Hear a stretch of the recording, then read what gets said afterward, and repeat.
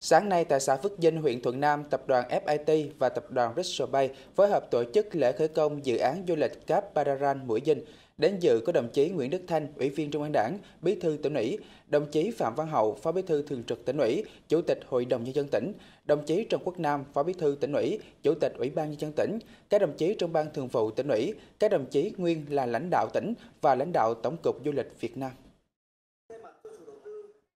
Dự án Cáp Bararan Mũi Dinh là khu du lịch nghỉ dưỡng đẳng cấp quốc tế, có tổng diện tích gần 800 ha, được chia làm nhiều phân khu, bao gồm khách sạn, resort, biệt thự biển, các khu tổ hợp, căn hộ khách sạn, tổ hợp vui chơi giải trí và thể dục thể thao. Tổng mức đầu tư toàn dự án hơn 1 tỷ USD.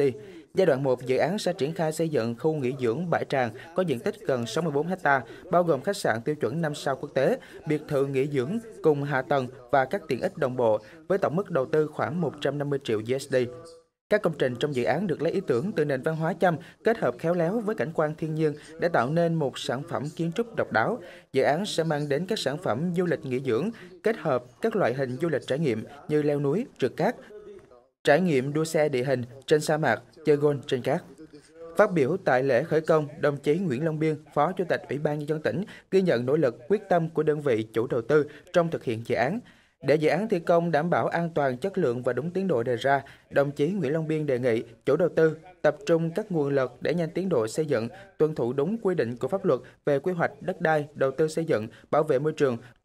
và các quy định có liên quan. Đề nghị các đơn vị tư vấn, các nhà thầu tuân thủ nghiêm ngặt các tiêu chuẩn, quy chuẩn xây dựng, đảm bảo chất lượng, an toàn công trình, an toàn lao động và vệ sinh môi trường.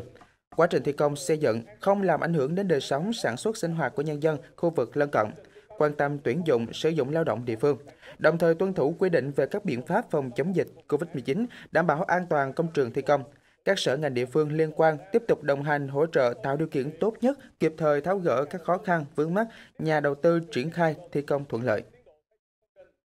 Chúng tôi hy vọng và tin tưởng rằng với năng lực, trách nhiệm và sự nỗ lực của nhà đầu tư cùng với sự đồng hành, hỗ trợ của cấp ủy, chính quyền các cấp và nhân dân huyện Thuận Nam, dự án sẽ sớm hoàn thành, đi vào hoạt động và phát huy hiệu quả, mang lại lợi ích kỳ vọng cho nhà đầu tư, đồng thời góp phần thúc đẩy phát triển kinh tế xã hội của huyện Thuận Nam nói riêng và tỉnh Ninh Thuận nói chung. Để tiếp tục thu hút các dự án đầu tư, tỉnh sẽ tiếp tục đẩy mạnh cải cách hành chính, cải thiện mạnh mẽ môi trường đầu tư, kinh doanh, luôn đồng hành, kịp thời tháo gỡ khó khăn, vướng mắt tạo điều kiện tốt nhất cho nhà đầu tư áp dụng các chính sách ưu đãi cao nhất theo đúng quy định của pháp luật. Tỉnh sẽ tập trung triển khai thực hiện kế hoạch phục hồi và tăng trưởng kinh tế xã hội, kế hoạch thích ứng an toàn, linh hoạt và kiểm soát hiệu quả dịch COVID-19 giai đoạn 2. Để đạt được mục tiêu tập trung kiểm soát có hiệu quả tình hình dịch COVID-19, phục hồi phát triển kinh tế xã hội,